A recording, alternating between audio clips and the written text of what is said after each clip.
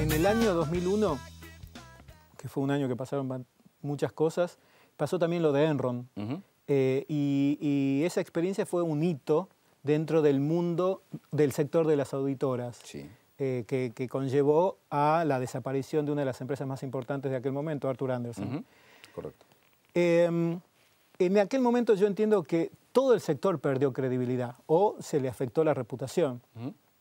Recientemente, el inicio de esta crisis ahora absolutamente globalizada en todos los sectores fue por las, eh, las hipotecas, ¿no? el mundo de la subprime,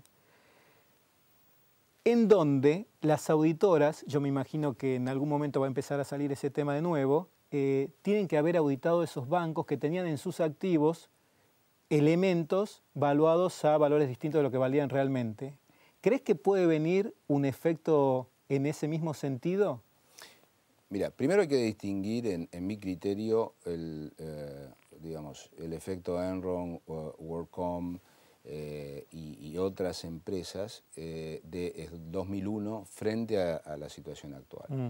Primero porque aquellos, digamos, escándalos este, tuvieron que ver con una firma en particular. no fue tan extendido este, el efecto. Eh, y, Arthur Andersen en particular, en, mi criterio, si bien eran profesionales sumamente capaces, en mi criterio manejaron mal el riesgo. Desde aquel entonces vino una serie de, eh, eh, de, reformas en cada una de las otras firmas hacia un manejo mucho más cuidadoso del riesgo profesional, mm. que se extiende hasta, nuestros días. Incluso en Estados Unidos y en otros países, eh, la ley, lo que se llama la ley Sarbanes-Oxley, eh, trató de poner mucho más énfasis en la independencia de los auditores, en el sistema de control interno, en la revisión por parte de la empresa misma del sistema de control interno y en la revisión por parte de los auditores. Y de hecho no hubo desde aquel 2001 escándalos empresarios significativos. Esto es otra cosa. Eh, en realidad esto, fue un, esto es una mm. crisis de crédito producido por un efecto sistémico. Y si uno mira lo que es dentro del mercado eh, de deuda y de hipotecas total, lo que era eh, el segmento subprime era un 7%. Mm.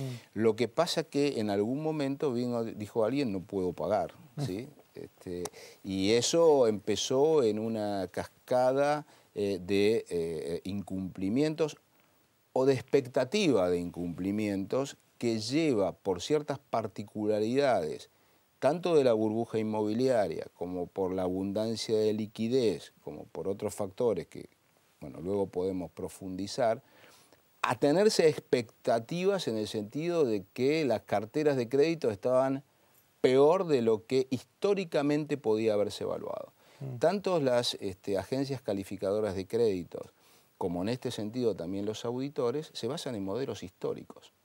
Entonces, en realidad los créditos hipotecarios históricamente tienen una tasa de, no pago muy baja. Mm. Entonces, hoy, y para responder a tu pregunta, decir que eh, las auditoras deberían haber visto eh, eh, esto que estaba por venir, la verdad que había que haber sido adivino. Mm. Y la auditoría se basa en evidencia. Mm. Y nadie tenía evidencia en el sentido de poder predecir de que se iba a producir una crisis de crédito y de confiabilidad eh, tan importante. Así que yo te diría que no espero, si bien vamos a ver demandas este, seguramente, pero no espero que esto sobre las firmas tenga una influencia significativa. La verdad que la influencia la va a tener sobre la crisis económica en sí misma, es decir, después vamos a ver durante este año, este, una, y ya estamos viendo, ¿no? una, crisis eh, productiva y de servicios importante. Esto va a tener efectos sobre nuestra eh, actividad en el sentido de que algunos bancos ya han desaparecido, por ejemplo, algunas compañías están en problemas, las negociaciones de honorarios van a ser más duras, pero eh, los gobiernos también van a tener que hacer algo respecto de la emisión de nuevas regulaciones. Cada vez que hay trabajo de emisión de nuevas regulaciones, nosotros tenemos trabajo. Hay trabajo para los auditores. Exactamente. Entonces, eh, y, las compañías también van a necesitar eh, tener eh, sistemas o, procesos este, que lleven a la reducción de costos, a la eficientización. algunas empresas se van a consolidar, es decir, fusionar, eso también va a traer trabajo.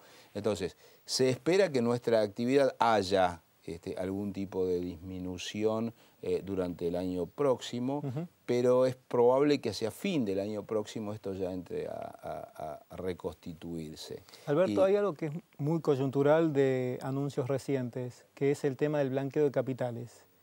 Eh, supongo que también eso va a dar más trabajo para, para firmas como ustedes, pero ¿cuál es la visión, si tenés una opinión formada, sobre la cuestión? Mira, eh, yo no creo que eso traiga mucho más trabajo para nosotros, porque en realidad tenemos un sistema eh, muy afinado de aceptación de clientes y de mantenimiento de clientes, y la verdad nosotros no esperamos que nuestros clientes tengan que ir a blanqueo de capitales. Eh, esto sí puede traer trabajo para la profesión en su conjunto, pero no espero que sea un cambio importante para nosotros. Eh, respecto del tema del de, eh, blanqueo y muchas de las medidas que se están tomando ahora, yo creo que hay que segregar dos aspectos. Eh, la parte conceptual y, el aspecto utilitario.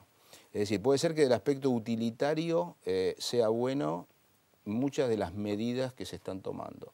Desde el punto de vista conceptual, tanto lo que es el blanqueo de, de capitales, es decir, el, bueno, ahora reconozco que evadí, ni hablar del tema de los, este, del lavado de dinero, que es mm. otra historia este, totalmente diferente.